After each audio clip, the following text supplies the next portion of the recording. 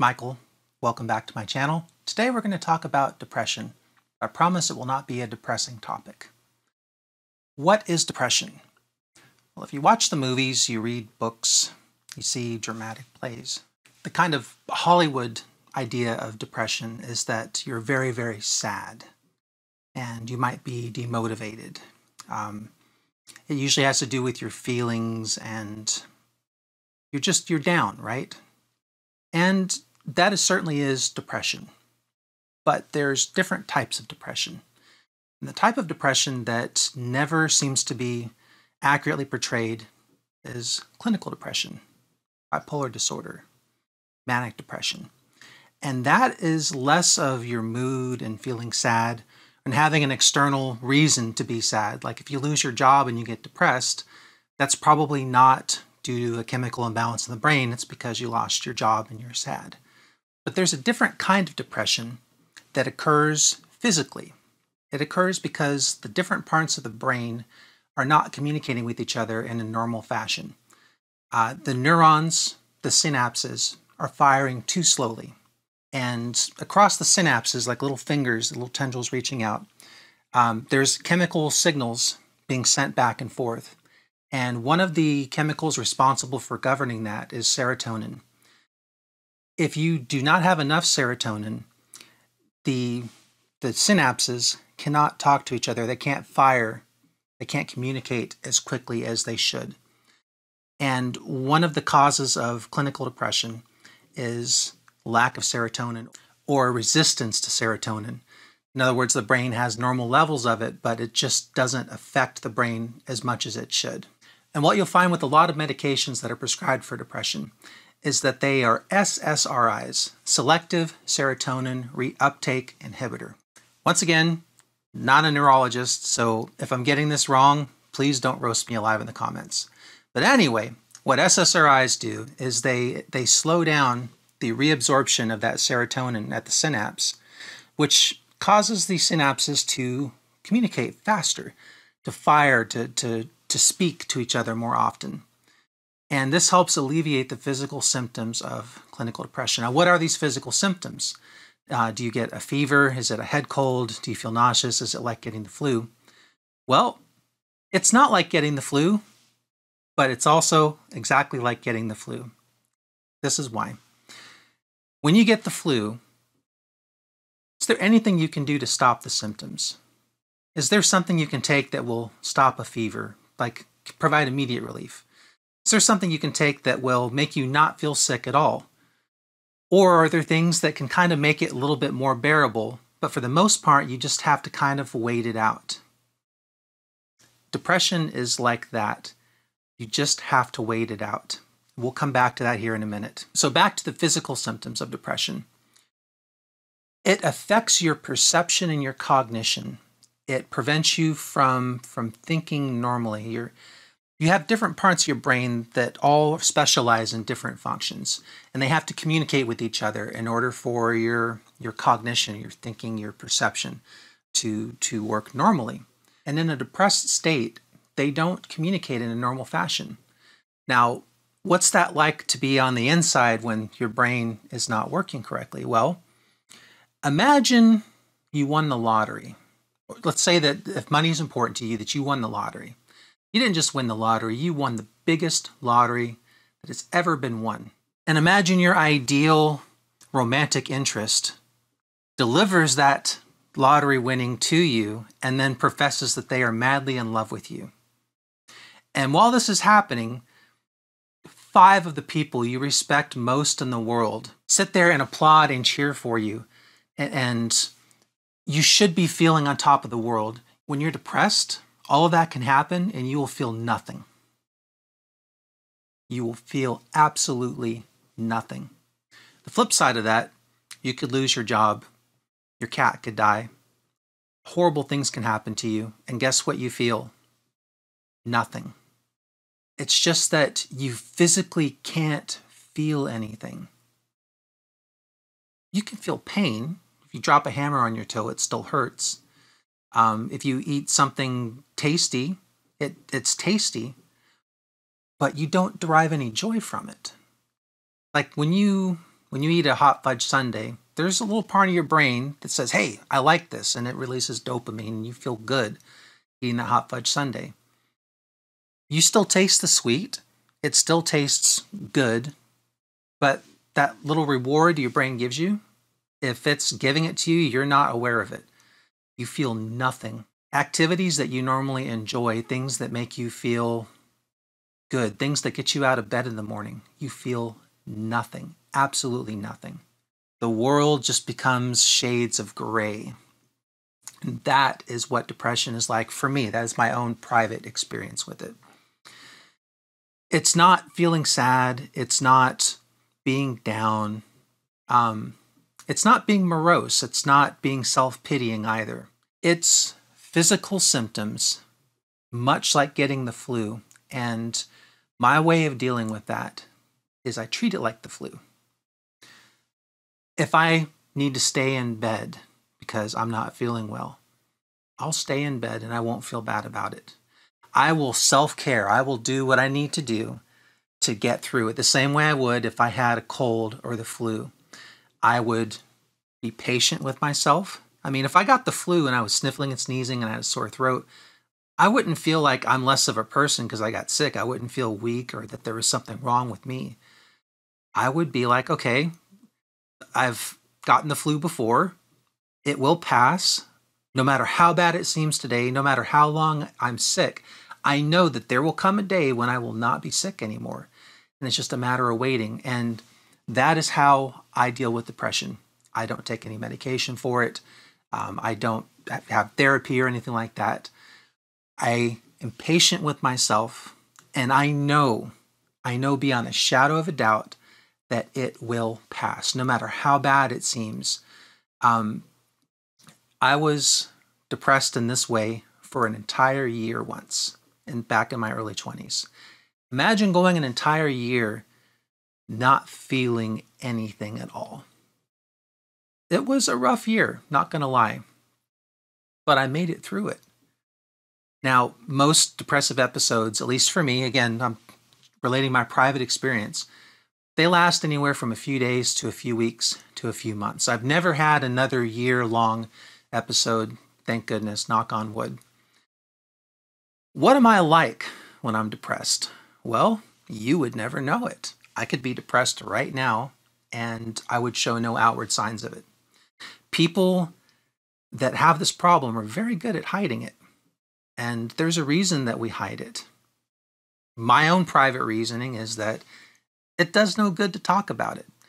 This isn't a sadness or or a feeling or, or something that I need to get off my chest and talking about it will make me feel better.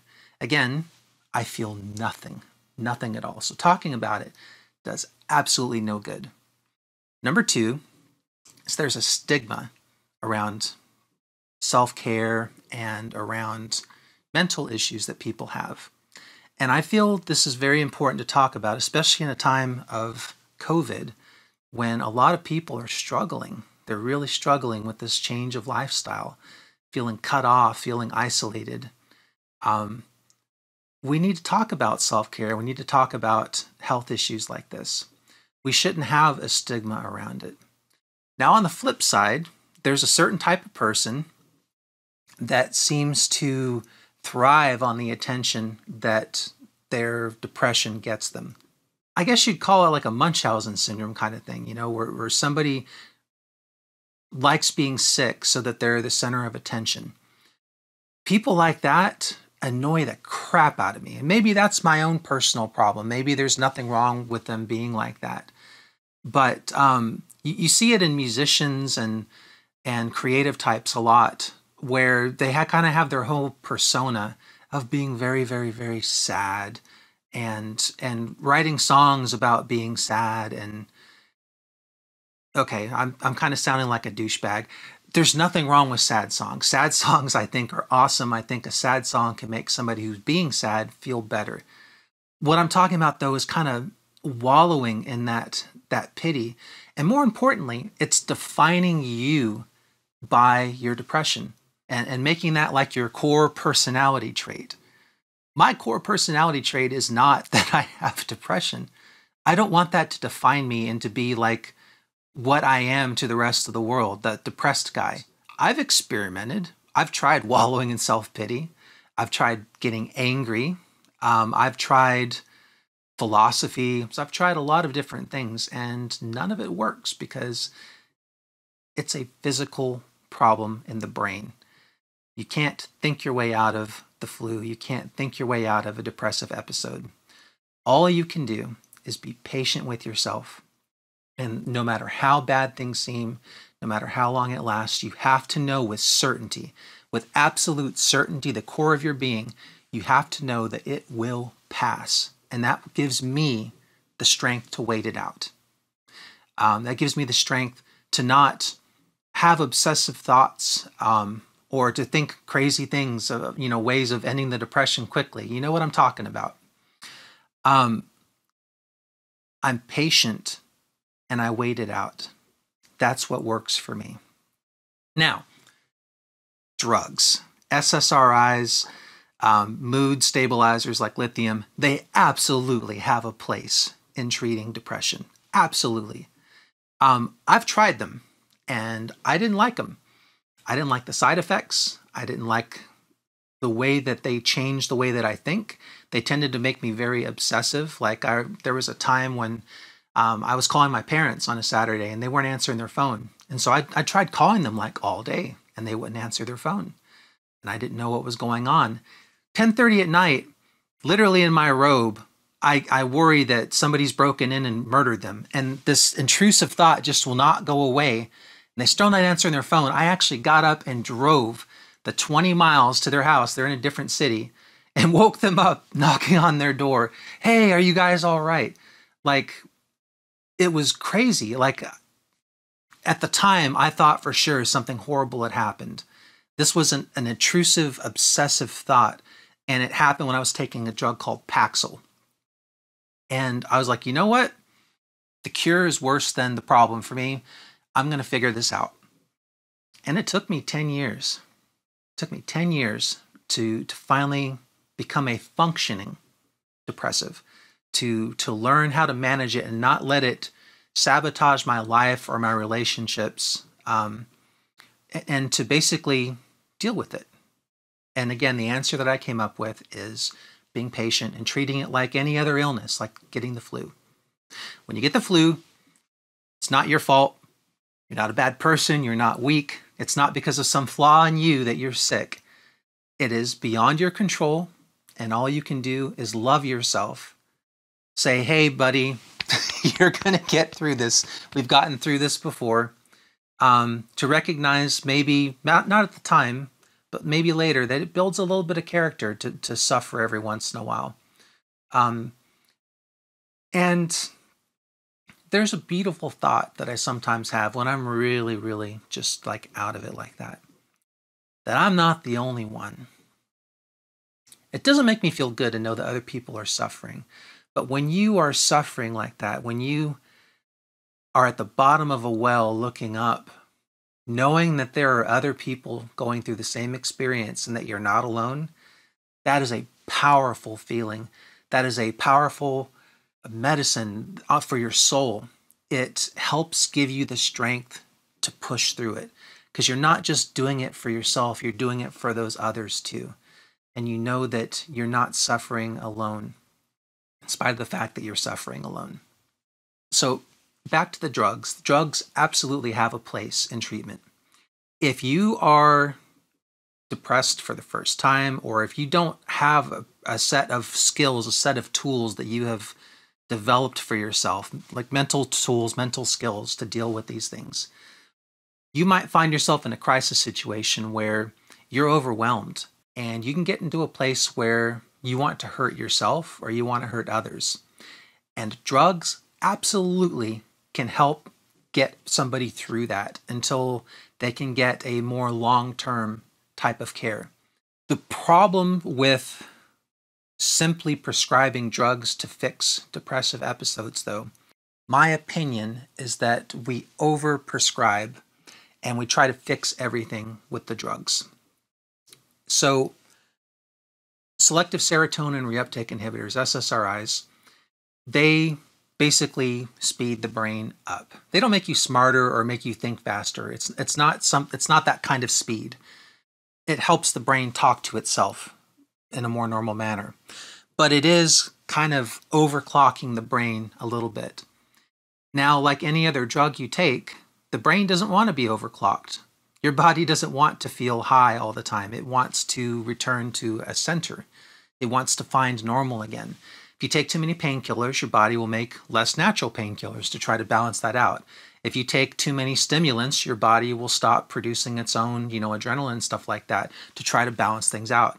If you take something that makes your brain speed up and, and overclock your brain, your body wants to create less of its own serotonin to balance that out. And you can become dependent upon it, but more importantly, the benefit that you get from it over time goes down. And that's why you'll find a lot of people who have taken SSRIs their entire lives. They don't just take one SSRI. Their doctors are constantly trying them on this new SSRI.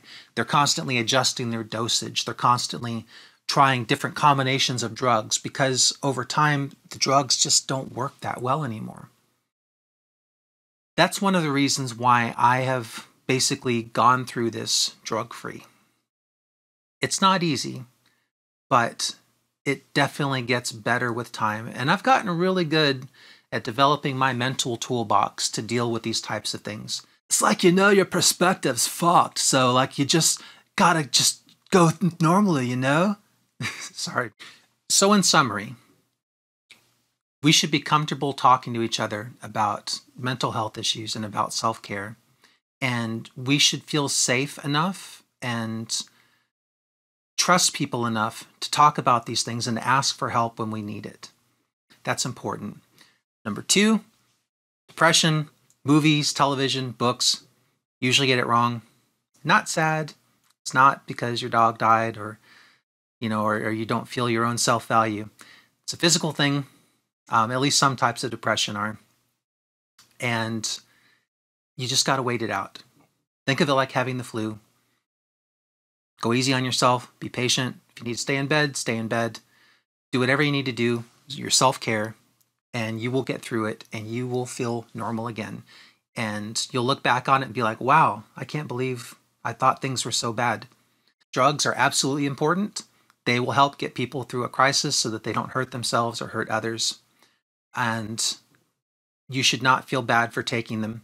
You should definitely talk to a doctor. You should definitely Talk to a therapist if you need to. You should not feel bad about seeking help, and you shouldn't feel like you're dependent upon drugs to, to get through stuff. None of that stuff matters. It's not a contest. All that matters is that you get the care that you need to make it through it. Um, and then the last thing is you can be a depressive person and function in life and maintain your relationships um, you can even be a positive or a relatively happy depressive person. Like I said, when I'm depressed, nobody realizes it. But that's me. You're not me. You're you. If you need to talk to friends and family, if you need to talk to a doctor or therapist, please do so. You are one of the few intelligent beings in the entire universe. Humanity and intelligent life is so exceedingly rare We've never found any other instance of it. We are all that we have.